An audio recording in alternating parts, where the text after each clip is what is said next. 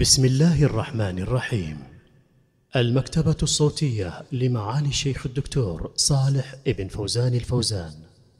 أضواء من فتاوى شيخ الإسلام ابن تيمية في العقيدة للشيخ صالح بن فوزان الفوزان حفظه الله.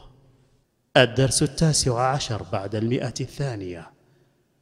الحمد لله على فضله وإحسانه الصلاة والسلام على نبينا محمد وعلى آله وصحبه وبعد. يواصل الشيخ رحمه الله كلامه عن المنافقين فيقول ولما قال صلى الله عليه وسلم لأسامة بن زيد أقتلته بعدما قال لا إله إلا الله؟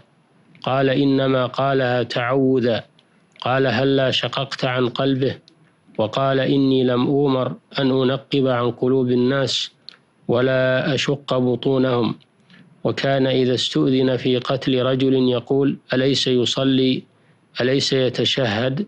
فإذا قيل له إنه منافق قال ذاك. فكان حكمه صلى الله عليه وسلم في دمائهم وأموالهم كحكمه في دماء غيرهم. لا يستحل منها شيئا إلا بأمر ظاهر مع أنه كان يعلم نفاق كثير منهم وفيهم من لم يكن يعلم نفاقه. قال تعالى وممن حولكم من الأعراب منافقون ومن أهل المدينة مردوا على النفاق لا تعلمهم نحن نعلمهم سنعذبهم مرتين ثم يردون إلى عذاب عظيم. وكان من مات منهم صلى عليه المسلمون الذين لا يعلمون أنه منافق ومن علم أنه منافق لم يصل عليه. وكان عمر إذا مات ميت لم يصلي عليه حتى يصلي عليه حذيفة لأن حذيفة كان قد علم أعيانهم. قد قال الله تعالى يا أيها الذين يا أيها الذين آمنوا إذا جاءكم المؤمنات مهاجرات فامتحنوهن الله أعلم بإيمانهن فإن علمتموهن مؤمنات فلا ترجعوهن إلى الكفار. فأمر بامتحانهن هنا وقال الله أعلم بإيمانهن. والله تعالى لما أمر في الكفارة بعتق رقبة مؤمنة لم يكن على الناس ألا يعتقوا إلا من يعلمون أن الإيمان في قلبه فإن هذا كما لو قيل لهم اقتلوا إلا من علمتم أن الإيمان في قلبه.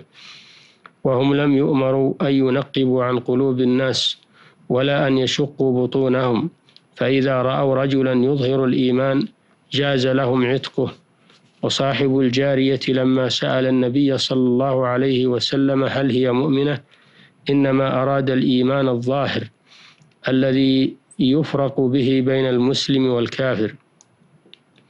وكذلك من عليه نذر لم يلزمه أن يعتق إلا من علم أن الإيمان في قلبه فإنه لا يعلم ذلك مطلقا. ولا أحد من الخلق يعلم ذلك مطلقا.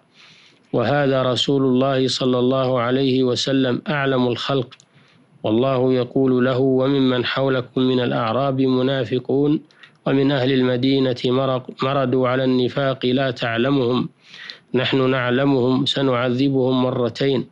فأولئك إنما كان النبي صلى الله عليه وسلم يحكم فيهم كحكمه في سائر المؤمنين.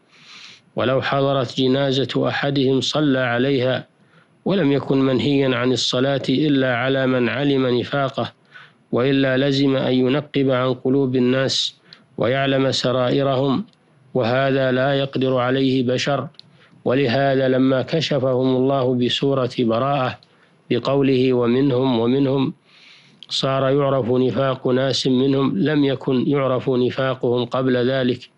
فإن الله وصفهم بصفات علمها الناس منهم ولما كان الناس يجزمون بأنها مستلزمة لنفاقهم وإن كان بعضهم يظن ذلك وبعضهم يعلمه فلم يكن نفاقهم معلوما عند الجماعة بخلاف حالهم لما نزل القرآن. ولهذا لما نزلت سورة براءة كتموا النفاق وما بقي يمكنهم من إظهاره أحيانا. ما كان يمكنهم قبل ذلك. وأنزل الله تعالى لئن لم ينتهي المنافقون والذين في قلوبهم مرض والمرجفون في المدينة لنغرينك بهم ثم لا يجاورونك فيها إلا قليلا. ملعونين أينما ثقفوا أخذوا وقتلوا تقتيلا. سنة الله في الذين خلوا من قبل ولن تجد لسنة الله تبديلا. فلما توعدوا بالقتل إذا أظهروا النفاق كتموه ولهذا تنازع الفقهاء في استتابة الزنديق فقيل يستتاب واستدل من قال ذلك بالمنافقين الذين كان النبي صلى الله عليه وسلم يقبل علانيتهم ويكل أمرهم إلى الله فيقال له هذا كان في أول الأمر. وبعد هذا أنزل الله ملعونين أينما ثقفوا أخذوا وقتلوا تقتيلا. فعلموا أنهم إن أظهروه كما كانوا يظهرونه قتلوا كما فكتموه. والزنديق هو المنافق وإنما يقتله من يقتله إذا ظهر أنه يكتم النفاق. قالوا ولا نعلم توبته لأن غاية ما عنده أنه يظهر ما كان يظهره. وقد كان يظهر الإيمان وهو منافق ولو قبلت توبة الزنادقة لم يكن سبيل إلى تقتيلهم والقرآن قد توعدهم بالتقتيل والمقصود أن النبي صلى الله عليه وسلم إنما أخبر عن تلك الأمة بالإيمان الظاهر الذي علقت به الأحكام الظاهرة وإلا فقد ثبت عنه أن سعدا لما شهد لرجل أنه مؤمن قال أو مسلم وكان يظهر من الإيمان ما تظهره ال... وكان يظهر من الإيمان ما تظهره الأمة وزيادة فيجب أن يفرق بين أحكام المؤمنين الظاهرة التي يحكم فيها الناس في الدنيا وبين حكمهم في الآخرة بالثواب والعقاب.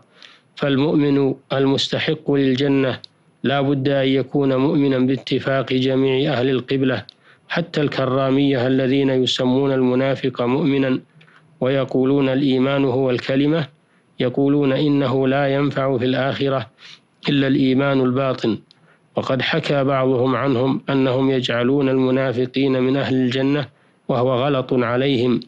وإنما نازعوا في الإسم لا في الحكم بسبب شبهة المرجئة أن الإيمان لا يتبعض ولا يتفاضل.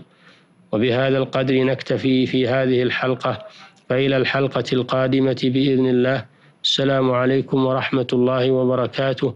صلى الله وسلم على نبينا محمد.